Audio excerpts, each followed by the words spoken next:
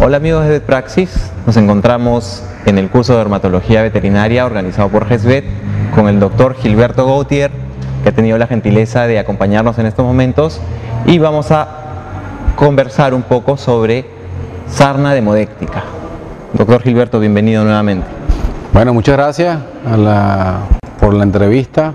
Eh, para mí es un placer dar algunas recomendaciones sobre demodicosis, aunque es una, un tema muy, muy, muy eh, intenso y extenso, con grandes investigaciones, pero podría ser una enfermedad bastante común, dependiendo de las zonas y dependiendo de las razas que existan en diferentes países.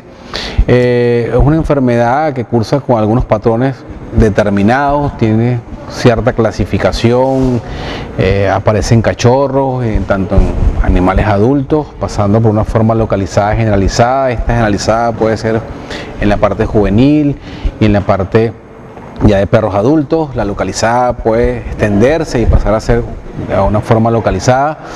Este, es bueno conocer todos estos patrones ya que nos va a permitir más adelante establecer el mecanismo o la forma de cómo lo vamos a tratar, por supuesto. Entonces, bueno, esto es lo básico, es muy fácil su diagnóstico, con un simple raspado de piel podemos obtener el diagnóstico. En sí la sarna demodéctica es una enfermedad bastante común en nuestro país.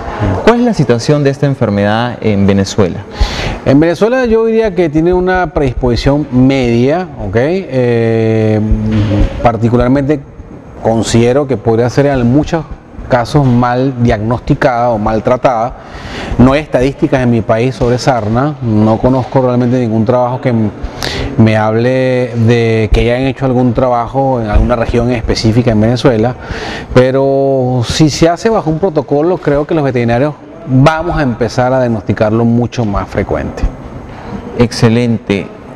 Eh, ¿Cuál es el método de diagnóstico que usted recomienda a todos nuestros, eh, nuestros colegas acá del Perú o el método diagnóstico que usted usa y es más confiable? Mm, realmente tienes que basarte en las pruebas primarias o de primera intención, eh, el raspado de piel tanto superficial y profundo, eh, haciendo con una buena técnica, tomando en diferentes áreas donde hay las afectaciones.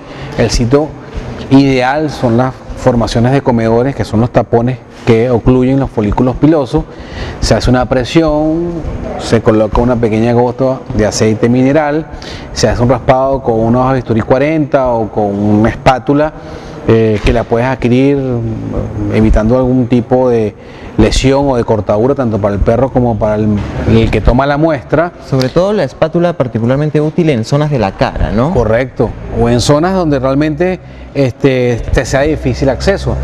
Hay una eh, espátula que se usa en odontología, eh, que es de doble punta, que usan los odontólogos para mezclar eh, las resinas y, hacer sus preparaciones. Son muy prácticas, son muy económicas y creo que sería una manera de, de, que tengamos un instrumental adecuado, aparte por supuesto de la hoja de bisturí. Se lleva ese material recolectado, se coloca en una lámina por objeto, se coloca nuevamente una gota de, aceite de inmersión y se lleva al microscopio. Desde objetivo 10 hasta objetivo 100, si lo haces con calma, deben estar ahí los Demodex. Y algunas veces solo observamos los huevos de los Demodex, ¿no? Sí, cierto. Eh, y también son diagnósticos. Claro, por supuesto. O sea, eh, la forma dentro de las etapas evolutivas del Demodex, lo importante realmente es eh, observar varios campos y hacerlo con calma. En dermatología no nos podemos dar el, gusto de hacerlo todo rápido, ¿no? Quizá eh, en el tercer campo ahí veamos los huevos, que ya es indicativo de que existe la enfermedad, porque hay un desarrollo y una reproducción, pero si seguimos observando vamos a encontrar larvas, vamos a encontrar formas adultas.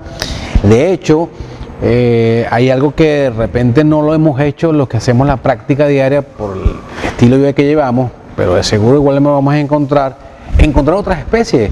Si nos ponemos realmente a observar con detenimiento, a estudiar bien esas láminas, de seguro vamos a empezar a encontrar, aparte de Canix, podemos encontrar Inyai en, en muchas oportunidades que esta es otra especie de, de Demodex. En los pacientes eh, que nacen con el Demodex y que hacen la enfermedad de forma generalizada, ¿Tiene alguna recomendación respecto a, probablemente se habla mucho de la esterilización de estos pacientes? Sí, está completamente indicado.